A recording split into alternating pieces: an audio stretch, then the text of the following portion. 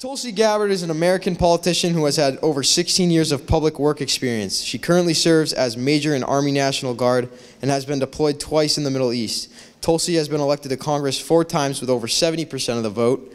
She graduated from Hawaii Pacific University in 2009 with a bachelor degree of science and business administration. She's the first female combat veteran to run for president and one of the first in Congress. Gabbard officially launched her 2020 presidential campaign in February of 2019 and was the most Google candidate after the first, second, and fourth Democratic debate. Her domestic policy is economically as well as socially progressive, progressive, and she opposes military intervention in foreign affairs. She is running to bring a soldier's heart to the White House. It's great that she took the time to come to CHS, and with that, here's 2020 presidential candidate Tulsi Gabbard. Thank you very much. Thank you. All right. Did I hear some Neil 2020 calls out here? Yeah? That's what I'm talking about. Aloha. How many of you have been to Hawaii before? A few of you. How many of you want to go to Hawaii? Here we go. this is, um, I was born in American Samoa and raised in Hawaii, and I'm the fourth of five kids. So um, I didn't grow up not only experiencing winter, but I didn't grow up experiencing the four seasons as we have here campaigning across New Hampshire for the last year. For us in Hawaii, it's basically uh, sunny or rainy, and our trees are either green or brown. I didn't understand really what fall was until we came here. It was pretty amazing. We've really enjoyed being able to um, have the opportunity to spend this time here over the last year. And now we're 11 days out from Election Day. Um, I'll give you a little bit more background about myself and then talk about the number one thing that comes up in our town halls every day here.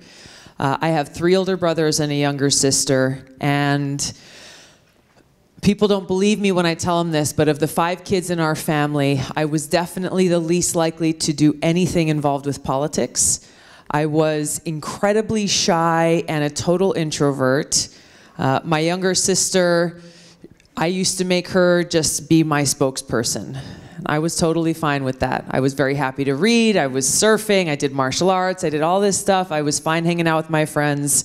But I made my sister go and talk to people if anyone needed to be talked to. Uh, for me, what caused me to kind of step outside of my shell and my comfort zone in Hawaii was my interest and concern for environmental issues.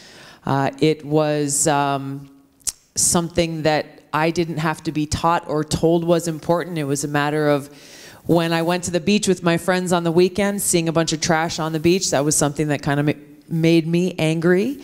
And so we went and we started cleaning up the beaches on the weekends, but then started to see, okay, well, this isn't really actually helping deal with the root cause of the problem because every time we came back, there was more to clean up. So it was good, but it just wasn't quite enough. Uh, so I was um, 16 or 17 years old. I formed a nonprofit called Healthy Hawaii Coalition. And the goal of this nonprofit was about clean water, keeping our oceans clean. And um, we took a we we created a two day uh, session for elementary school kids and took this program across the state. Had little help with writing a grant, but I I wrote a skit called The Adventures of Water Woman, and it was a day in the life of Water Woman and Oily Al. I played the original Water Woman in this skit, and uh, we went through kind of the things that a lot of people might think or recognize in their everyday lives. You know, uh, Oily Al was changing the water, the oil in his car and about to dump the oil down into a storm drain. Water woman came in and stopped him just in the nick of time and told him why this was not a good idea and where the water in the storm drain eventually drains out to. And for me, it was really incredible to experience that um, being able to see kind of the light bulb go off in these kids' eyes, second, third, fourth graders who are kind of connecting the dots between the actions that we take every single day to how that was either positively or negatively impacting our home and our environment. And that experience had a huge impact on me. And it made me realize that somehow, some way, I wanted to continue to try to be in a position where I could make a positive impact on those around me, where I could best be of service um, to others. Uh, this is what eventually led me to uh, running for the State House of Representatives in Hawaii. I was 21 years old. A lot of people said, You're too young, you don't have enough experience.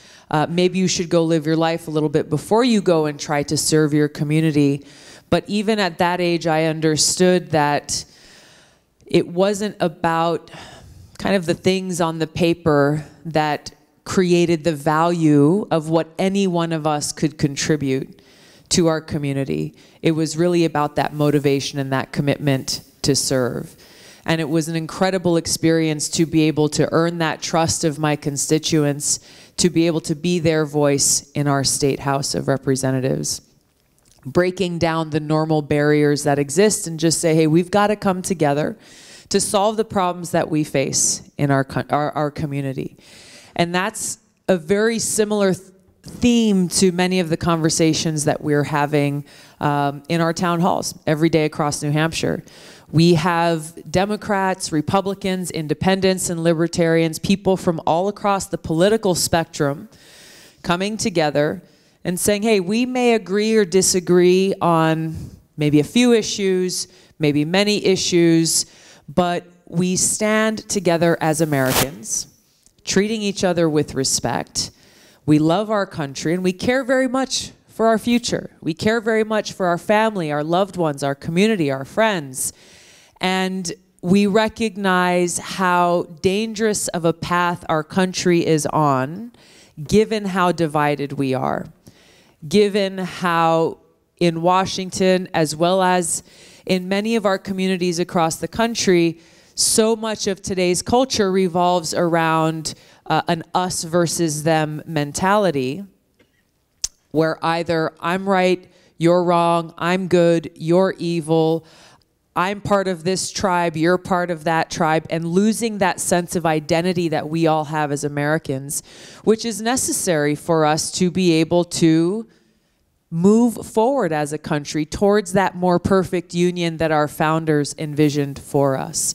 And this is what gives me hope. This is what gives me hope, even as there's increasing cynicism about how we can overcome these divides as a country, because even with all of the differences that we may have, the unique perspectives we bring, we stand united on common ground upon that bedrock of our Constitution that creates this unity for us as a country. It's really our choice. The choice is ours to be able to recognize it and to bridge those divides, to listen to the warning that Abraham Lincoln gave to us over 161 years ago when he said, A house divided against itself cannot stand.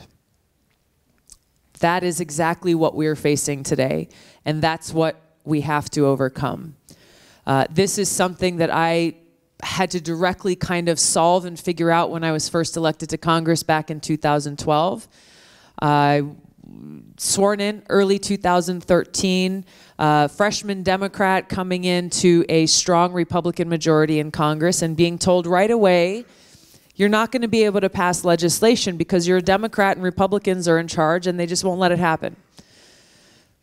I didn't like that advice very much. Uh, because that's not why I ran for Congress. I, I ran for Congress to actually do things, to solve problems for my constituents.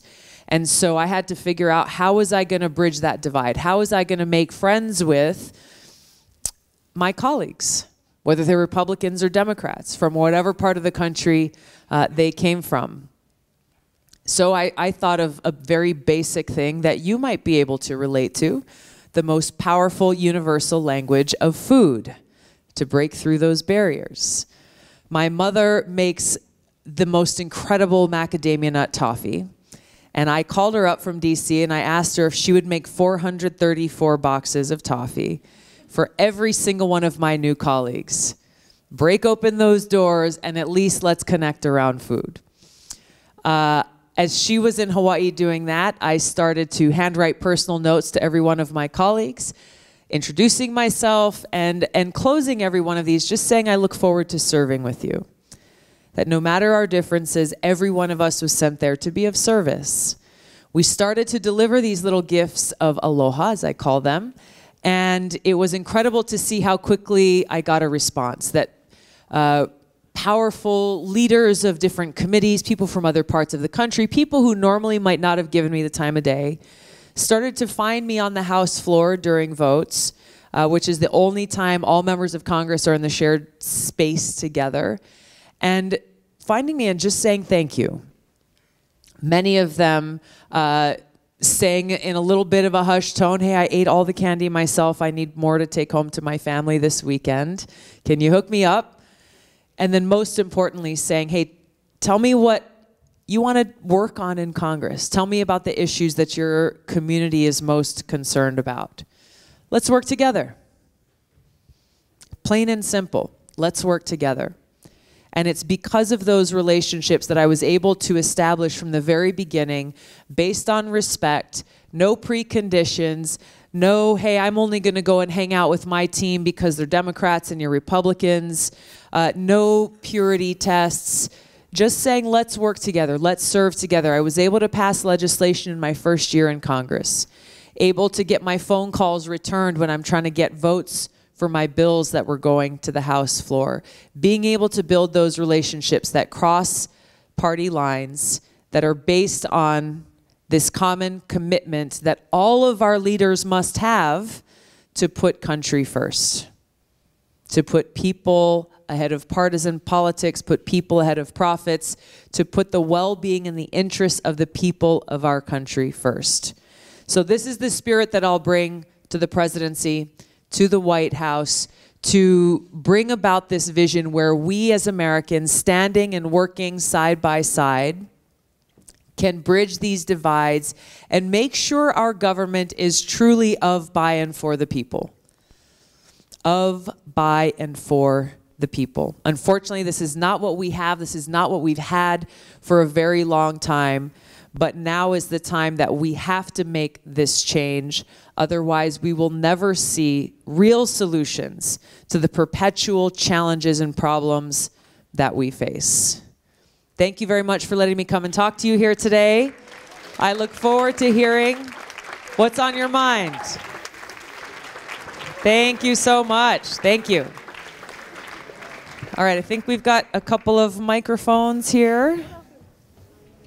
I think, tell me if I'm wrong. If Oh, here we go. Becky and Jeremy are coming to the rescue. Thank you very much. All right, here we go. So, guys, if you want to, if you have a question that you'd like to ask um, Tulsi, if you want to come down to the microphones, we'll start two lines. Probably have about time for about 30 minutes worth of questions. So, if you have one, feel free to come on up. Don't be shy.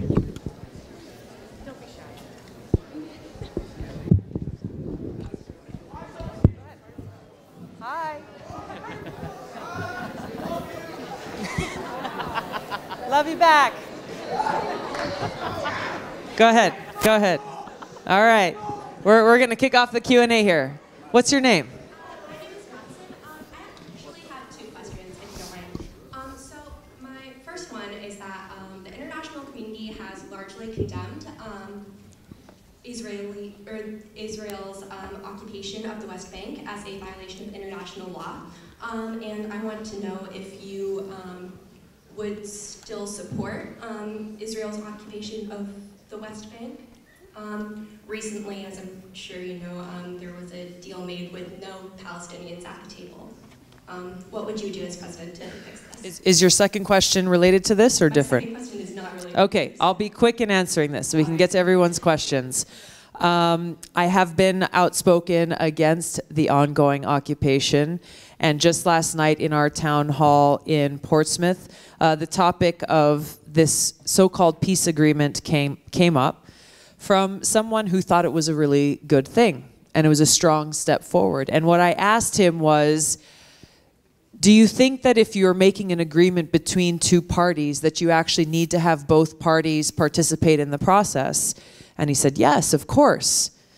But that's not what's happened with the agreement that was announced uh, by President Trump with Bibi Netanyahu uh, representing Israel the other day. And I think uh, even before you delve into the details of that agreement that was announced, which really does represent a, ver- a, a biased path forward, if you could even call it that, uh, it's hard to take this seriously as a good faith effort towards a peaceful negotiation leading to a two state solution, which I do support, when one party has been completely excluded from the process. So this gentleman asked me a follow up. He said, Well, they haven't really been excluded. They've been invited to come and join the, the conversation about this for years.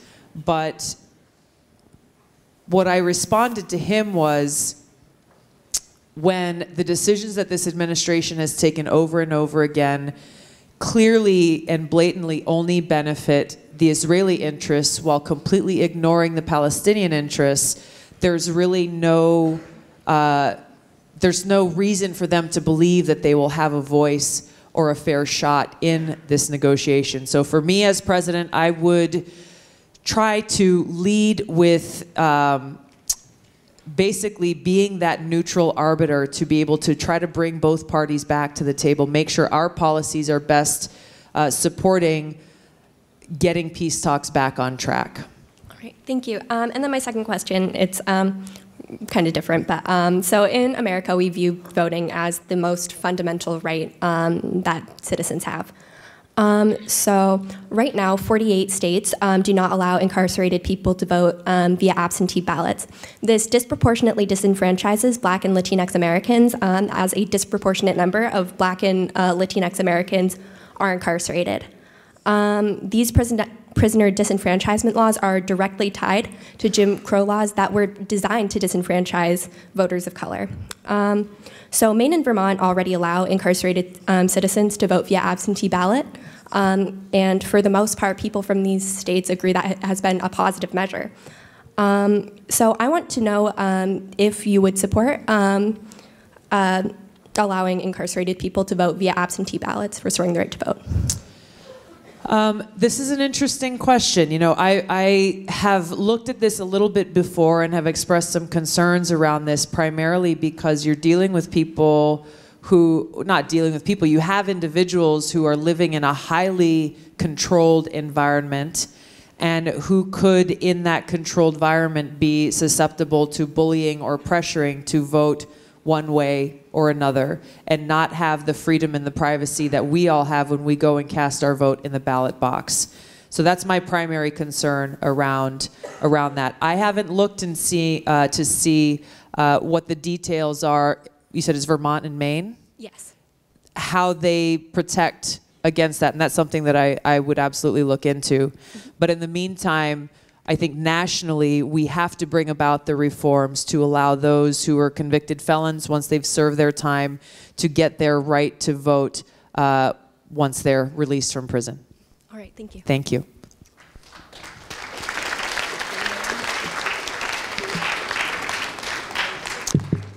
Uh, hi, my name is Graham, Hi, Graham. and so this is something that's hit me really personally. I'm just going to give you a little background info before I ask. And this is something I've asked a couple of other candidates before. Um, so it's almost five years ago now that my mom passed away from a terminal brain tumor. And I'm sorry. Take your time. And she made more money than my dad, and when she stopped working, half half her income was lost. My dad couldn't take time off to spend time with me and his dying wife.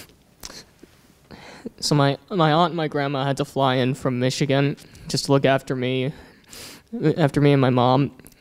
So what I was wondering is, would you support the federalization of paid family medical leave so no other family has to go through what I went through? Thank you, Graham. Thank you. Can I give you a hug?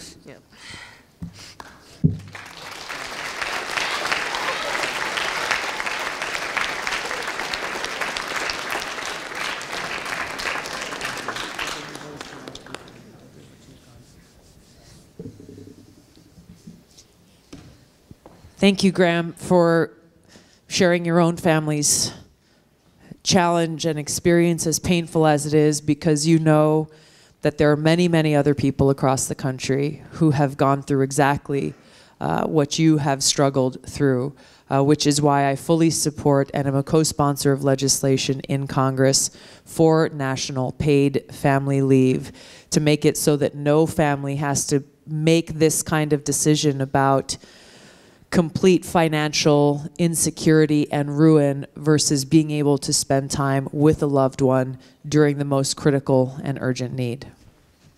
Thank you. Thank you.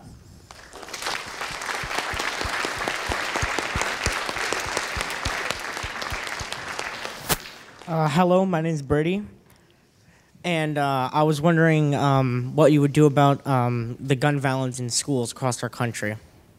Thank you, Brady. Brady? Yes. All right. Thank you for your question. Uh, there's a couple of things that I've already done as a member of Congress, but I think there's a, a broader approach that we as a country need to take to this ongoing um, clash uh, around gun violence. Uh, my staff and I, we were starting to have conversations to try to answer the question that you're asking. And as we were doing so, we found that there's been no collection of information from each of the schools where unfortunately mass shootings have already taken place to try to determine if there are any trends, are there any similarities, are there any things that that uh, are coming to the forefront that can better help to prevent things like this happening our, in our schools in the future. So I, co- I introduced legislation co-sponsored by a colleague of mine who lost her child because of gun violence at a school shooting to be able to begin uh, to collect this information so that leaders in Washington can make better informed decisions about what you know uh, indicators may be popping up that educators and administrators should know of uh, what programs we can put in place to better deal with some of the gaps that may exist. You know, some of the things that have come to the forefront already is just the shortage in funding for things like school counselors, mental health professionals on campus to help provide care where care is needed. But there's more. This is only one piece of, uh, and, and one step to help us get to that place where we can prevent more of these tragedies from occurring. But I think as we do this, and I was really hoping that this bill would be a bipartisan bill. I had expressed uh, to some of my uh, my colleagues why we were doing this. They understand why it's important, but unfortunately, uh, no Republican has signed on to the bill, and I think it's not because it's not because Republicans don't care about school shootings. I don't believe that for a second. It's it's this highly partisan um, and polarizing culture that if you even mention anything related to guns, it's immediately, well, you're walking down a slippery slope that will ultimately result in the government coming into your home and taking your guns from you, which is an extreme view and, and I think is not reflective the reality of most people. Um, and I think on the other end of the spectrum, you have some people, well, you have some people who are advocating for that, to be quite frank. They're not in the, the majority, but you have a few people who say well, we should get, get rid of the Second Amendment altogether. It, it's a disservice to our country that we are in this polarizing environment because I've experienced it myself where most people, including strong Second Amendment advocates, including families who are terrified, mothers terrified of their kids getting shot in school, sharing that same objective of both upholding our constitutional rights and our Second Amendment, while also being able to have the peace of mind that when you go to school every day, you'll be able to come home at the end of the day. That you're able to focus on your studies, hanging out with your friends, doing what you do, and not having to have this fear lingering in the back of your mind. There are a number of things I think we've got to look at as a country to be able to address this. Some may be able to be addressed through legislation, others uh, may not be. But we cannot we cannot make progress towards achieving those goals so long as we have this polar polarization and people parked in different camps and not having the tough discussion about their fears and concerns and their perspectives that others may not really understand. Thank you.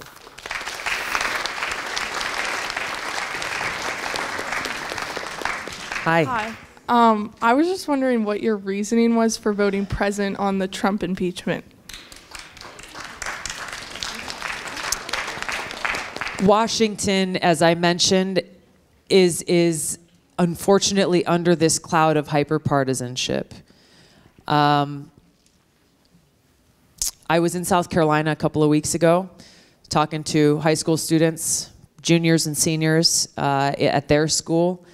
And I asked them a question, and I'll ask you the same question. How many of you are uncertain about the outcome of this impeachment? How many of you don't know how it's going to turn out? Hmm. Maybe a third, a quarter? I asked this same question of a different group of students, and not a single one of them raised their hands. That, and, and this is what I've experienced, is that most people, regardless of which side you're on, already had their minds made up before this whole process began. And my concern all along is that an impeachment process that is driven by partisan, partisanship on both sides is one that will only further divide an already divided country.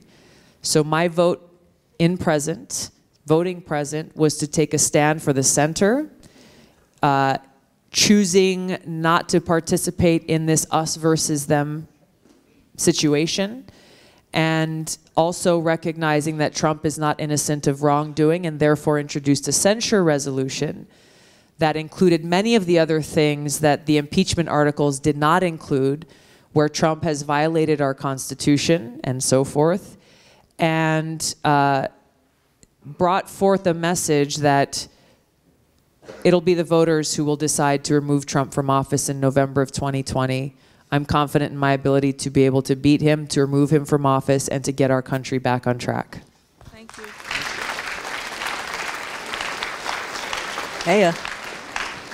So, my question is Do you still support the maintenance of the Electoral College? And if so, why? I do support maintaining the Electoral College. However, it needs to be reformed. The reason why I don't support completely removing the Electoral College is because, like all of you, I come from a small state with a population of about 1.4 million people. And if we do, we have to go back to understand why the Electoral College was put in place in the beginning. And I think the intentions were correct.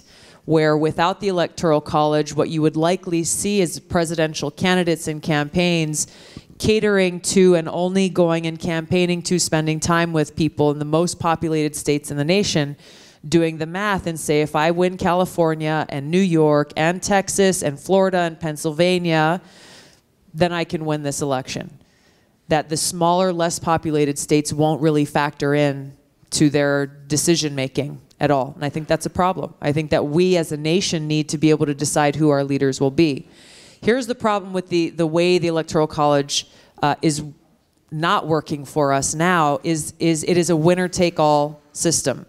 So if if I were to go and win California with 51% of the votes in November, uh, I get every single electoral vote from the state. This is how we end up with a situation where the electoral college can beat out the popular vote. I think we need to change it so that it is representative and proportional. If I were to win 51% of California, I would get 51% of California's electoral votes. The beauty around this change is that unlike those who are advocating for getting rid of it, which requires a constitutional amendment, which is very, very hard to do. Um, I don't know how many of you know Virginia just became the latest state, for example, to ratify the Equal Rights Amendment, including women into the Constitution. That has taken decades, decades. So changing the Electoral College to one that is proportional does not require a constitutional amendment. It just requires, I believe it's two thirds of states to pass their own resolution saying we want to make sure the Electoral College is proportional, and then that change will be put in place. And I think about half of states have already done so. So this is a change that I think could and should happen as quickly as possible. Thank you. Thank you.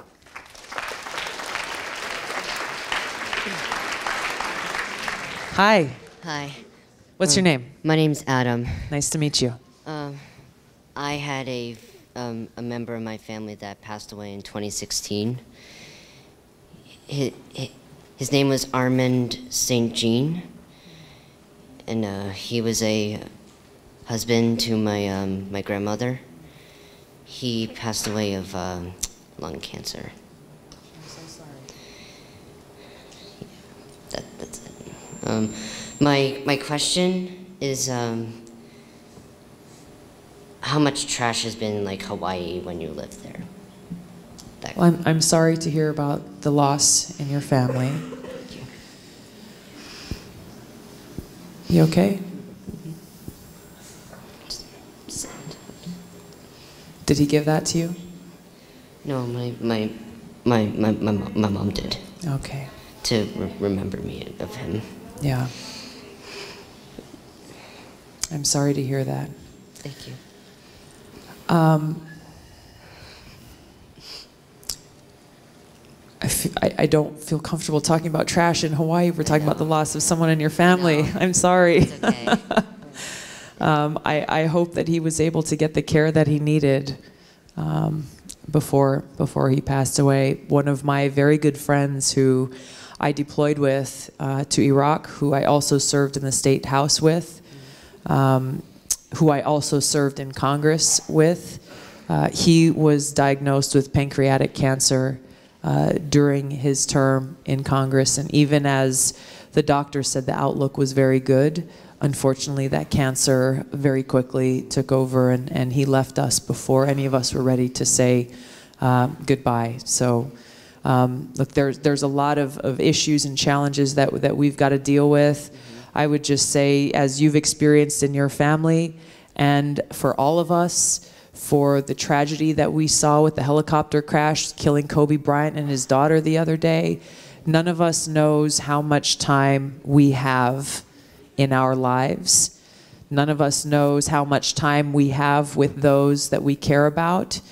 And we've got to live every day like it's our last, treat each other with kindness, express the love that we have for each other uh, so that we have no regrets.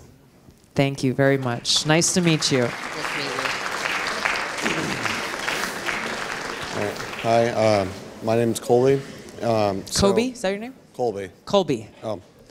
So um, my question is, would you try to increase the pay for military personnel? Yes. Um, I serve on the Armed Services Committee in Congress where we deal with things like military pay increases, uh, training, dealing with a lot of the housing problems that military families have, dealing with both readiness and all of the things that allow our men and women in uniform to be best equipped to do their jobs, to keep our country safe, but also making sure that they are able to do so without having to worry about uh, their kids or their spouses uh, being able to um, to take care of themselves while they're out on deployments or, or out on missions. I think it's something that um, often goes overlooked, but if you go to a military town, we've got a lot of bases in Hawaii. I've spent a lot of time on military bases across the country. It's really sad that so many of these military bases are surrounded with pawn shops and uh, check cashing um, uh, places where people can go in and try to get their checks cashed, get an advance with a very, very, very high interest rate if they don't go and pay that money back right when they get their paychecks. It shows that even our men and women in uniform willing to sacrifice for our countries are having a hard time making ends meet, having a hard time paying their bills. Um, so that's something that, that as president, both for our military and our veterans, I absolutely would address. Thank you. Thank you. Yes. Thanks. My name's Callie, and it's okay if I share some background history. Of course. So, when I was younger, I was diagnosed with this disorder called PANDAS, which stands for Pediatric Autoimmune Neuropsychiatric Disorder Associated with Streptococcal. And basically, it caused me to like have a bunch of mental issues. Like I would just be like amazing little girl and well behaved, you know. and then all of a sudden I go into these screaming fit. And I, I've since been cured from it like a while ago. But it's left it's still left me with some mental issues. Like I've been diagnosed with anxiety and I have some other stuff that I haven't been diagnosed with, but it's still there. So I would like to know what your thoughts are on helping people with mental illness. Did your name Callie? Is that what you said? Callie, thank you very much. And thanks for sharing your story, Callie. Um, you are exactly um, illustrating why we need to dedicate resources towards health, including mental health. That a lot of times we talk about healthcare, but leave out mental health, even though it's just as important as our physical health. I think it's important as we look at dedicating those resources here at school, for example, to make sure that you're able to um, get your uh, concerns addressed, be able to talk to someone who can best help you deal with the challenges that you're struggling with, that we uh, come at this from a holistic perspective. So if you're experiencing anxiety, I think rather than just saying, well, and th- I've, I've seen this in the military too, if you're experiencing this or that, we're just going to give you some pills to try to help numb the problem. But I think we should have professionals who can actually help understand better why you're experiencing that anxiety and to try to help you through um, through those challenges to be able to alleviate that um, at, at its core, at its root. Thank you. Thank you.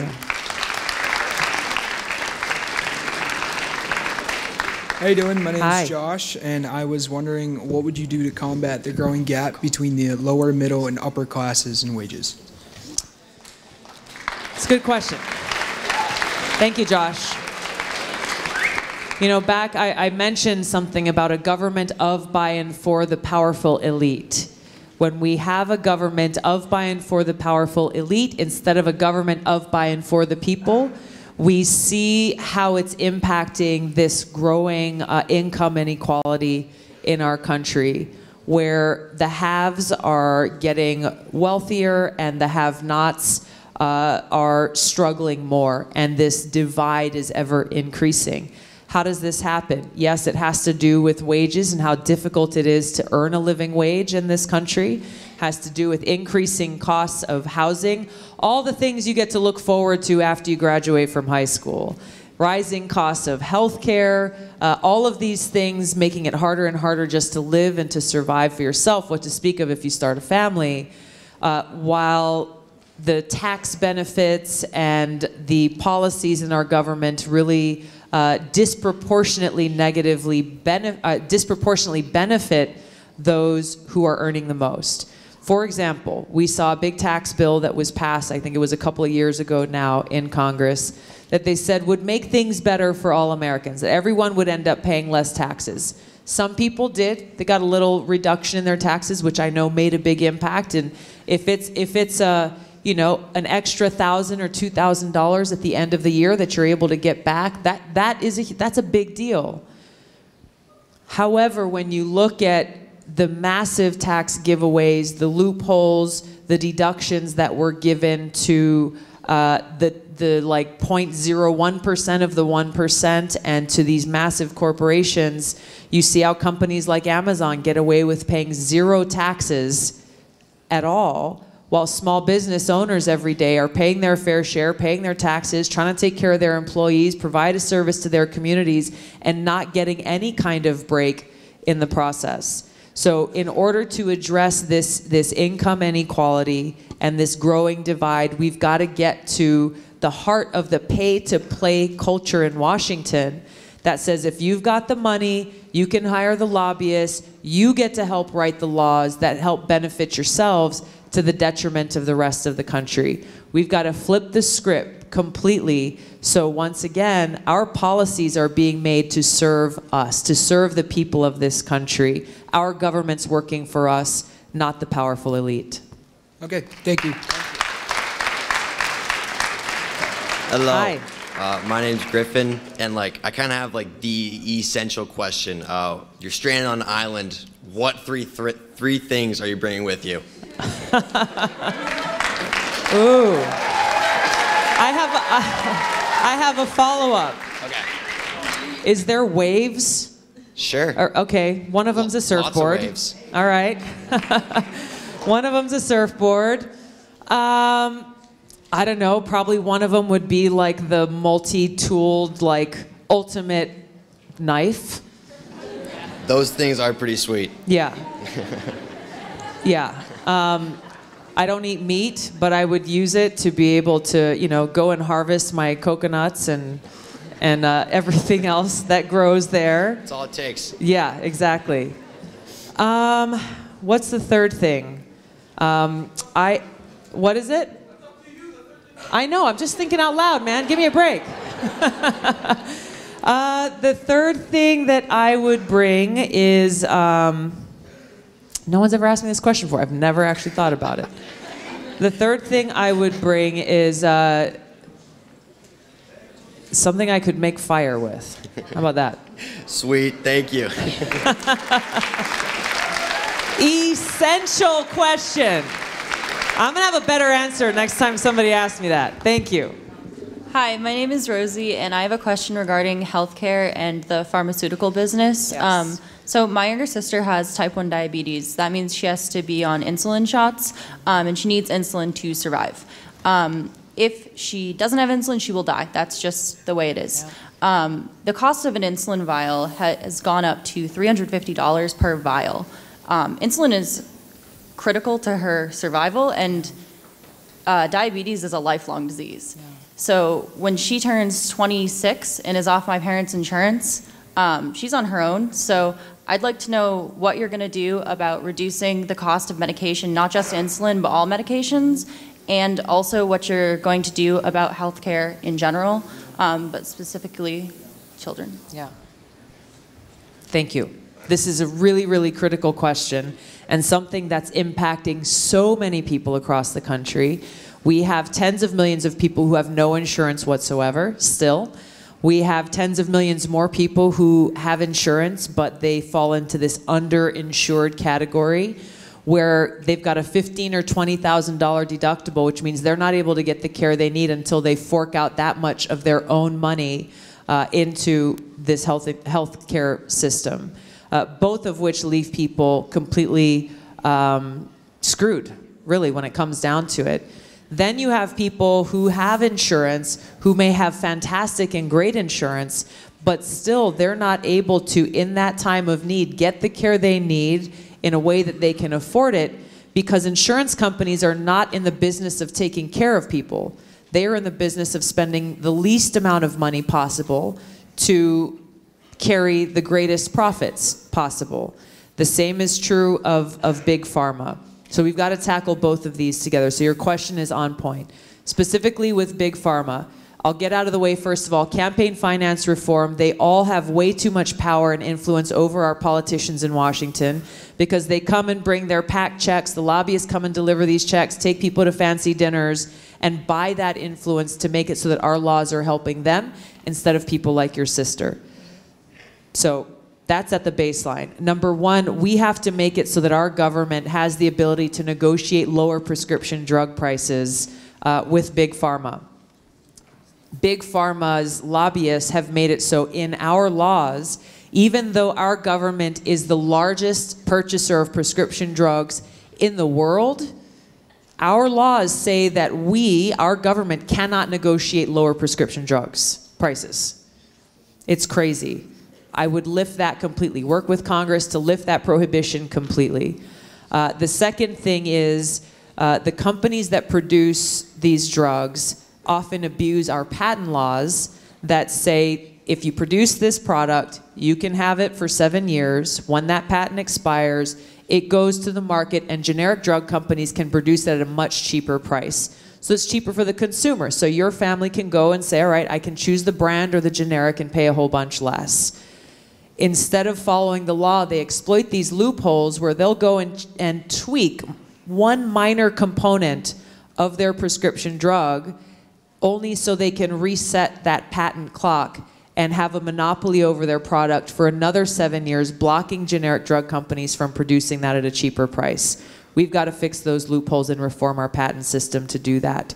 Third, and these are things that Congress can do right now Uh, we have to allow for the reimportation of cheaper drugs from countries like Canada, where a lot of families are going right now, facing problems just like your sister is potentially facing in the future, going and buying vials and vials of insulin because they're able to get it at a fraction of the price that we have to pay right here at home. Uh, those are the first steps that I would take to start to make it so that we have a fair and uh, equitable process towards negotiating lower prescription drug prices. Um, this is directly tied, though, to the health insurance problem that we face. Uh, I've looked at the, the insurance um, or the health care plans of many other countries, and the one I would I have seen has probably worked best is Australia. My plan here for our country I call a single payer plus plan, where every single American is guaranteed quality, affordable health care while still allowing you, if, if let's say your sister got, her, got a great job and an employer offered a fantastic insurance plan, she obviously would have the choice to benefit from that plan. If she didn't, though, if she turns 26 and she's still looking for a job or the job she has does not offer insurance whatsoever, she can have the peace of mind along with every American that you will get the quality health care that you need and deserve whenever you need it, regardless of how much or how little you pay. By doing this, we as a country can bring down the overall cost of what we are currently paying into healthcare now. We are paying far more than any other country in the world for healthcare. Yet we see far worse outcomes and we see people struggling just like your sister. By doing this, we take away the big profits that big insurance is making off of taxpayers and really just focus on the delivery of health care. Last thing I'll say on this is so much of this is focused on big insurance and big pharma. And a lot of times, focusing on true health care is lost in the process. I think we've got to invest more in uh, prevention and wellness and nutrition to be able to promote a healthier society uh, in this country which will also not only lead to people who are uh, less sick people, uh, but it will also lead to a further reduction in how much we as a country are spending on healthcare. Thank you. Yes, sir. Bring it home.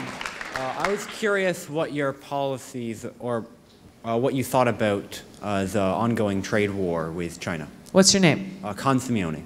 What is it? Khan. Khan. Thank you very much, Khan. Uh, the ongoing trade war with China is something that, um, while I agree that there are, uh, there's a trade imbalance that we need to address with China, uh, the way that this administration is doing it, I think, has been pretty irresponsible in creating a lot of uncertainty in the marketplace, creating a lot of hardship for farmers, manufacturers, small business owners, people here in the United States of America in a very, uh, taking a very volatile kind of shoot from the hip approach to resolving these issues.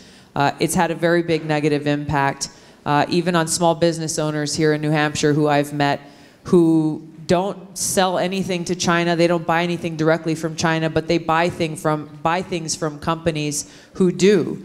And so you're seeing that trickle effect where you've got a tariff war going on. China's not paying for those increased tariffs. They're passing those prices on to those who are buying their products directly and indirectly here at home. Uh, the the uh, challenge that is posed by this increasing trade and tariff war that never gets talked about is the realities of the danger when you're waging an economic war with another country, especially another country that is a nuclear armed country.